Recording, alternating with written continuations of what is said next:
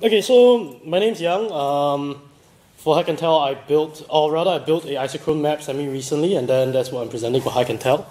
So, just as an overview, an isochrone map is isochrone maps is that you draw contours of equal travel time for a single point, but uh, it's, it's kind of like a topological map, but instead of elevation, your, con- your contours are travel time.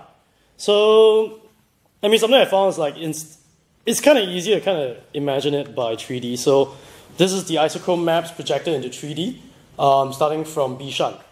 So this for public transport. Um, folks have done it for driving before, but public transport in Singapore is particularly difficult because it's just hard to find a clean source of public transport feeds, the GTFS feed. So what you find are things like this, um, like little islands or little ridge lines of on on the map itself, because it's kind of places that is faster to commute to or more accessible. So these are essentially your these are essentially your train stations, right? So I mean, a couple other patterns that we have here. I mean, this is this is taken from Choa or Bukit Panjang, Bukit Panjang, and the equivalent 3D version of it. So Singapore is particularly peculiar in this case, but we don't really have any natural barriers except for that thing in the middle, which is the central water catchment area. Like the rest of Singapore is completely fine except for this thing. Um, which kind of makes sense. I mean, okay, yeah, I, I, I, won't go into that one. So one of the boys in the office actually lives in this place called Flora Drive. So, poor bastard. Um, so, yeah, and so not just, you don't, you don't get islands just by, uh, just through MRT stations. You also get islands. These are actually buses that travel down the expressway. So these are actually, Deb, this is Seletar Camp, this is somewhere else. Um, yeah, there are actually buses that kind of just run through this expressway here. Yeah. So and then on Reddit there was these guys that were looking at Sungai Gedong Camp. So Sungai Gedong Camp, it's awesome. It's like no man's land. So okay, um, generally speaking, if the gradient is steeper, the travel time is um, your speed is slower. If the gradient is is it's it's gentler, your travel time is actually faster. It's kind of counterintuitive, but that's not what I suppose. It's it's just an analogy in this case. So the thing I like about isochrone maps is that uh, it, it leads to other things. So it leads to things like this one, which is, uh, where we? Here, we go. Uh, yeah. So based on that, like just just when just when this uh, just when after, shortly after I made the isochrone maps, um, the new Tuas line actually the new Tuas line extension actually came up. So this is before the extension. So this is how the maps look like before the extension starting from Jurong East. So mainly this area here. Um, this is how it looks like after the extension. So this area here, right? Um, I mean, particularly this kind, this representation not particularly great. It's kind of like spot the difference. So what I did is actually just calculate the deltas. Mouse. Um, so these are the four stations that are included in the extension. And the brighter the colors, the more time savings up to 25 minutes. So, namely around these two stations, if I'm right, is um, Tuas West and Tuas Crescent or something like that. Um, they have it here actually. So, it kind of makes sense. Like if you look at LTA's uh, reported time savings, it makes sense why they report only around Tuas West or Tuas Crescent because that's where the most time savings is at. Um, if you look at Gul circle, and Tuas Link is not as impressive a time saving as the other two, right? So there's one toy. So um, I found I found this other guy's um, analysis on accessibility in general in Singapore. Uh, not Singapore. In, in general, and is you compare jobs that are accessible from a point within say X number of minutes, 35, 45, whatever. Um, I chatted with a friend from URA, and the best data set for that is CPF, but that's classified. So instead of using instead of using jobs as a measure of accessibility, I made this toy version which measures um, your accessibility to the nearest um, your the hawker center accessibility index. So within 45 minutes, how many hawker centers in Singapore can you get to? So it kind of is very not really. Because up here, there's actually a lot of jobs in industrial manufacturing. Up down here, there's a lot of jobs in manufacturing. But it gives you a sense of like accessibility in general. That's it.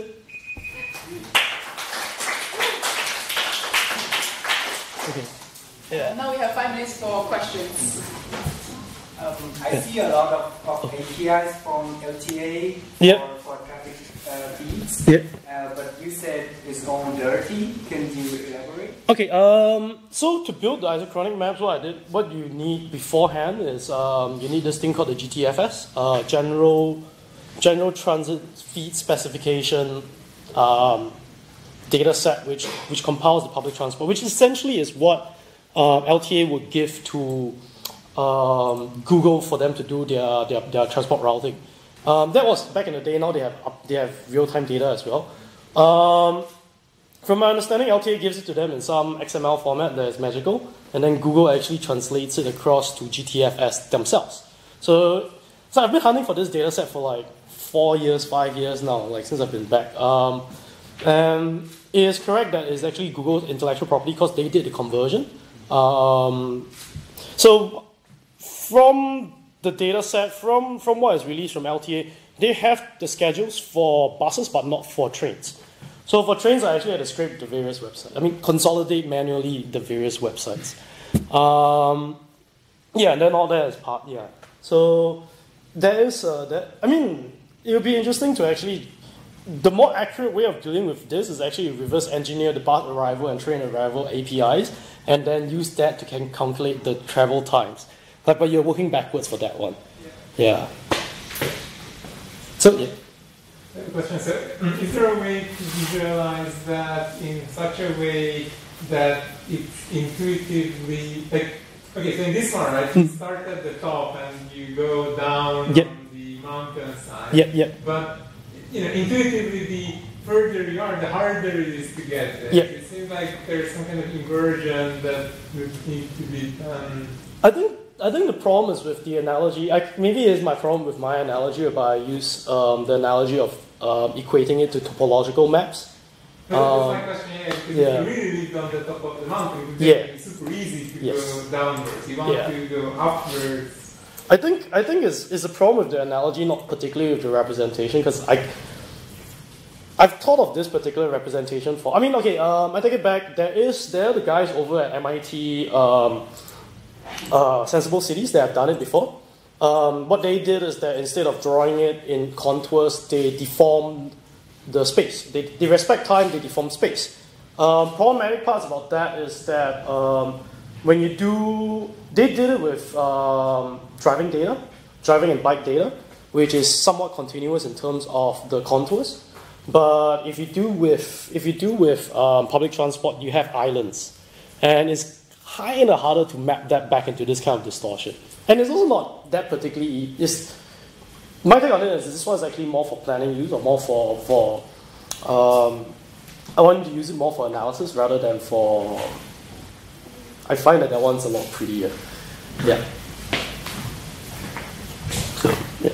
Uh, how do you draw this contours? Is by estimating the bus and train arrival time?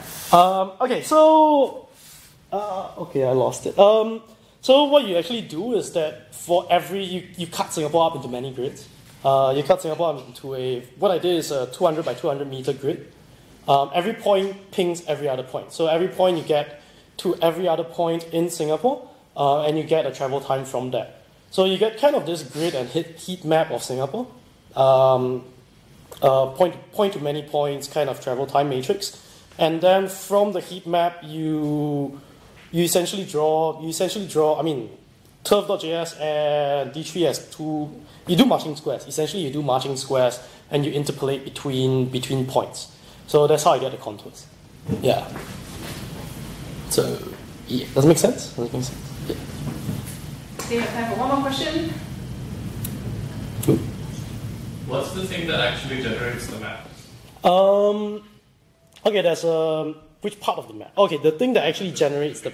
Okay, so this is my pipeline. So from from digging and scraping from GTF, uh, digging and scraping GTFS, I pipe it into OpenTrip Planner, which does the which does the which does the point-to-point analysis, and then I take the data out and I have a I have an offline script to draw the contours, because what comes out of what comes out of uh, OpenTrip Planner essentially is just a heat map.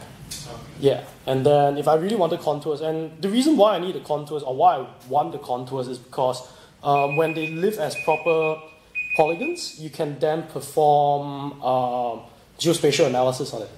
Like, what's this? Um, 99.co actually has this feature. It's just really far, is hidden really far inside their, their, their interface. You can actually pick a couple of places, set a travel time, and then it will filter, it will filter for the intersection spatially. So that's why I had to move one step further to actually draw the contours because I wanted the polygons. Right. Yeah. yeah. Cool. Thanks. Thank you.